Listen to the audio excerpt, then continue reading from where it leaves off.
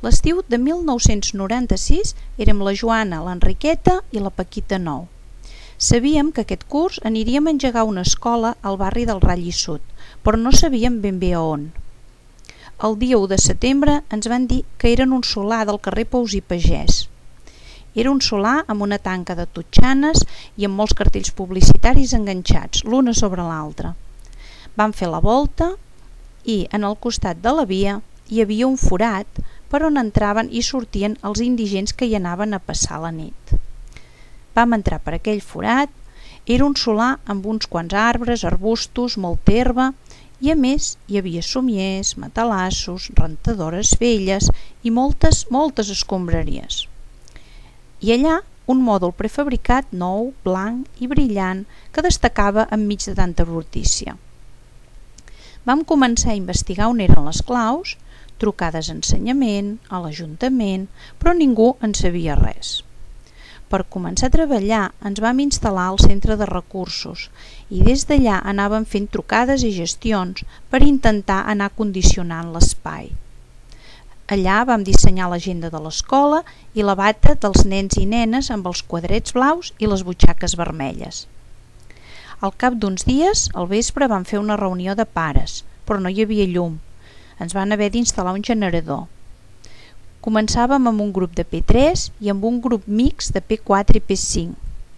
Com que l'escola no tenia nom, l'anomenàvem Centre Nou.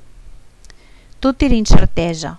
Els pares i mares estaven preocupats, però les mestres ens feia molta il·lusió vam aconseguir tot el material d'una llar d'infants del carrer Col·legi que tancava.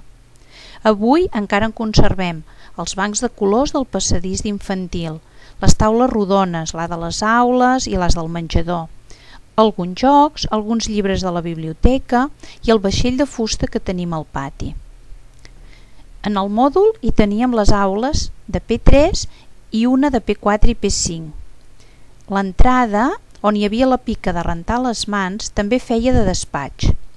En el lavabo dels nens i nenes, a l'hora de menjador, la Neus hi rentava els plats i a l'hora de dinar, l'aula de P3 es convertia en menjador.